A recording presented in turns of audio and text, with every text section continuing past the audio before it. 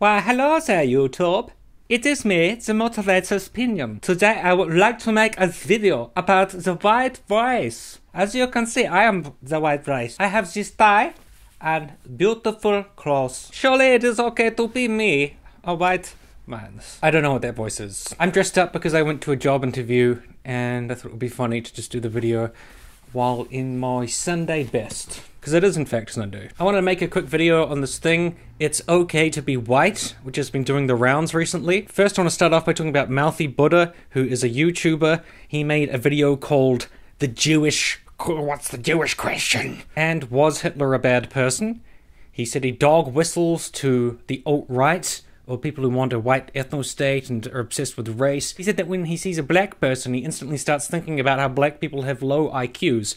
But he also said he doesn't want to be like that, and he doesn't want to be that kind of person, so he's going to change his ways. On his latest video, is it not okay to be white? It's just another dog whistle to racists. It's just another white victim narrative that people can say, oh my god, our way of life is being destroyed. It's not even okay to be white. I'm not even allowed to be a white person anymore. I'm a huge victim because being white is so incredibly difficult. to my god. Because a growing culture of anti white rhetoric does exist and it goes far beyond mere rhetoric. It embeds itself inside the foundations of academia. It surrounds itself on top of the highest peaks of mainstream media, or Hollywood, or foreign policy.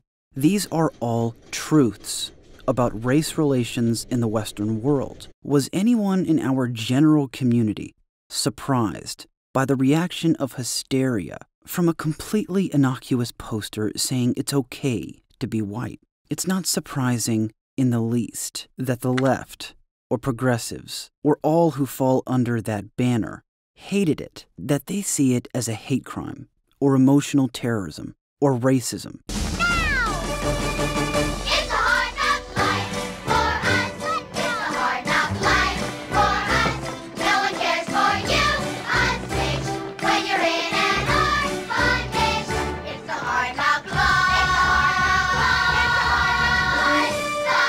And the video follows not long after he said, I don't want to be like this. I don't always want to think about race. I don't want to be a racist person, so I'm going to change. It's probably been barely a week, and you're already putting out dog whistling videos again. I think we just gotta call it for what it is. Mouthy Buddha is an alt right racist, and he's trying to create a white victim grievance narrative that his audience just laps up. And I don't think he was steel manning anyone this time. I think he's just trying to say, hey, white members of my audience, Let's enjoy our racial grievances and propping up the alt right.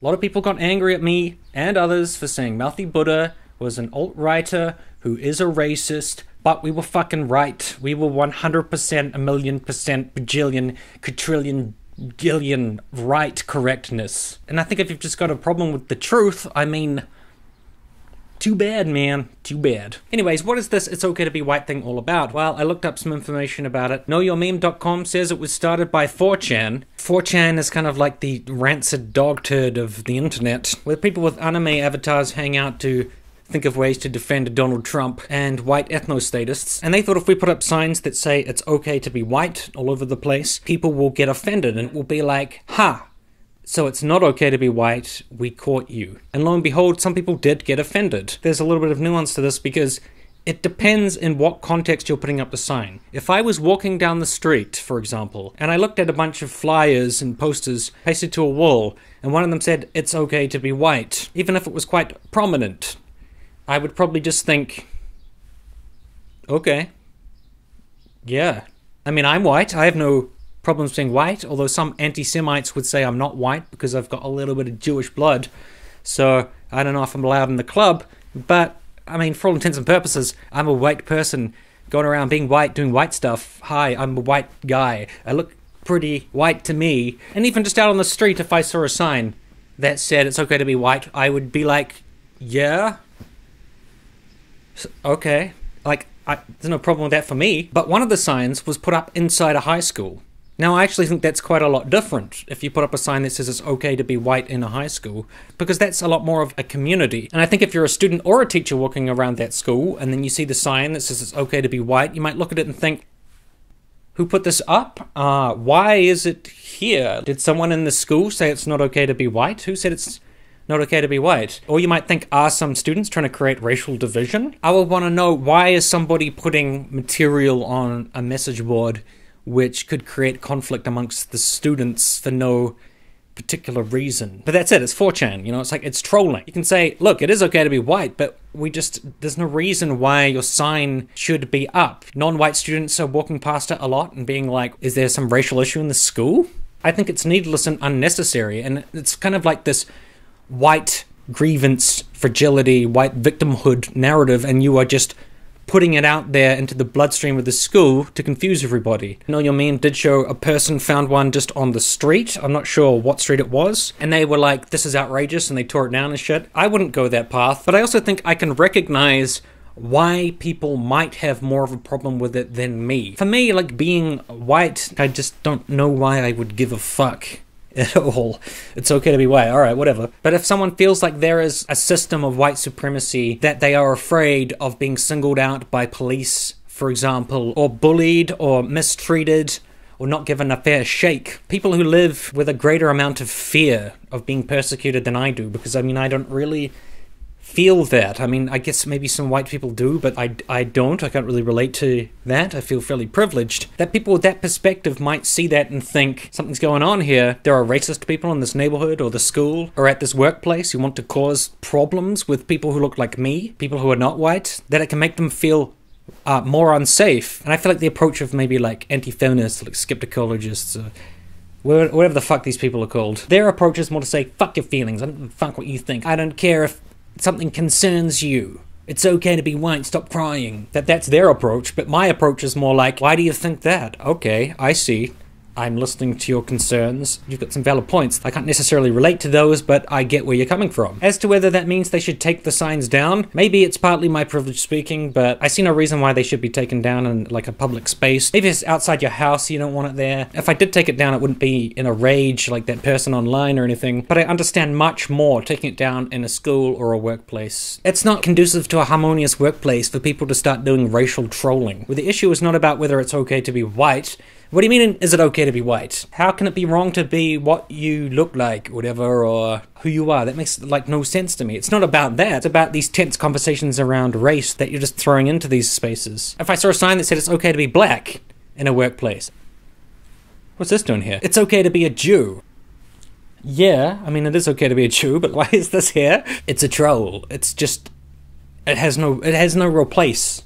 It's not appropriate. And I think when it comes to being white, people are angry and frustrated and annoyed that they get dismissed because they're white. Because people are like, you wouldn't understand, you've got privilege, you don't get it. I think people hate that kind of thing, and I've been talked down to in that way before as well, and I don't like it. But I think if someone treats me that way, or even if a whole bunch of people treat me that way, like, shut up, white boy, you can't talk, you don't know what it's like, you can't have an opinion on this shit. Even if that's a wide point of view, I'm still just liable to treat that particular group of people like they're a bunch of assholes. Like, look, you're a bunch of dickheads I don't care if you're trans or gay or bi or I don't care what the fuck you are. You're treating me really terribly for no reason. I haven't talked down to you. I haven't tried to take up your space. I've said to a trans person, well, you are being really fucking rude to me. You're being a total douche. And they're like, you can't talk to me like that. I'm a trans person. I'm like, I don't care who you are. You're an asshole. Who gives a shit what you are? But I'm not liable to say, because this bunch of people have treated me badly because I'm white, I must be a victim because I'm white and me being white is hard in my life. Like, no, it's just when you butt heads with certain communities, uh, rhetoric around you being white and that being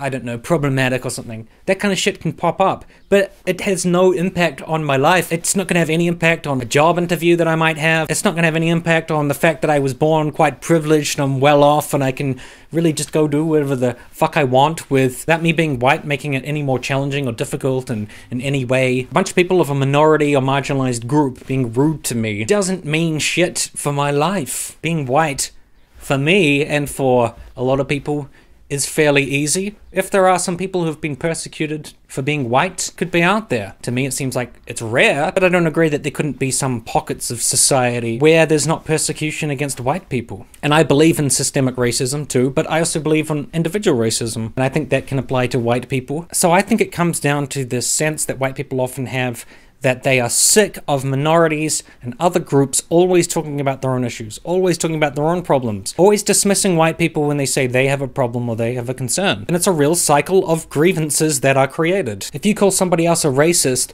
you don't necessarily know if they are being racist from a place of knowledge and knowing and understanding that they're being racist, or from a kind of low self esteem, a need to be valued, and a lack of understanding. If you go from zero to racist in 2.5 seconds, that can have negative consequences and blowbacks where people are too proud and too ego driven that they quadruple down and then they create this like reverse. It's not really because I don't really believe in reverse things, but I'll just say it this time reverse victimhood sense of people are always so mean to the white people. For me, it's very easy to shrug off. I don't care. Why would I give a shit just because some people call me a racist or some people say I'm privileged and should shut up? So what? I mean, they can say what the fuck they want. Like, who cares? That's my attitude about it. But I know that other people are going to feel differently and they feel like I'm being put upon, I'm being victimized.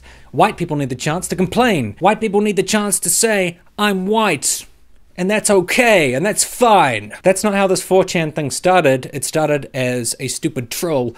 But I also understand that perspective amongst white people. So I guess I am stuck a little bit in the middle here because I can understand there are people who are going to want to tear those signs down, and I don't necessarily relate to that point of view because I can't because it's not my experience. And also not relating to a bunch of aggrieved white people being like, look, we want to be the focus. We want our problems to be the big deal here. We want to say that people really hate white people and this, this is all this anti-white bigotry and etc. When it's like, come on, for most of you, being white is not any kind of impediment to your progress in society. It's not creating any barriers, it's not creating any obstacles. Obviously, every human struggles, every human has difficulty. Maybe you lack privilege in other ways, like you were born in a trailer park or something. Abusive parents, you're not going to want to hear about your privilege because you're white, because your life is not easy, it's really hard. But now that stuff happened to you because you're white. That happened to you because there's a lot of randomized stuff in society, not just what skin color you have, but where you're born and who you're born to. But you're not going to have some added stigma from being white that black people also have placed on top of them. So I think when we talk about white privilege, we also have to understand it's not like a zero sum game where if you have white quote unquote privilege, nothing bad is going to happen to you and you're not going to have a tough life. Because tons of white people have tough lives, of course, because there's a lot of white people. The question is solely about to what extent does being white make your life tougher? And like I said, there could be pockets of society where being white is harder and you're discriminated against. It's possible. So I guess I would just say at the end of the day, is it okay to be white? Yeah.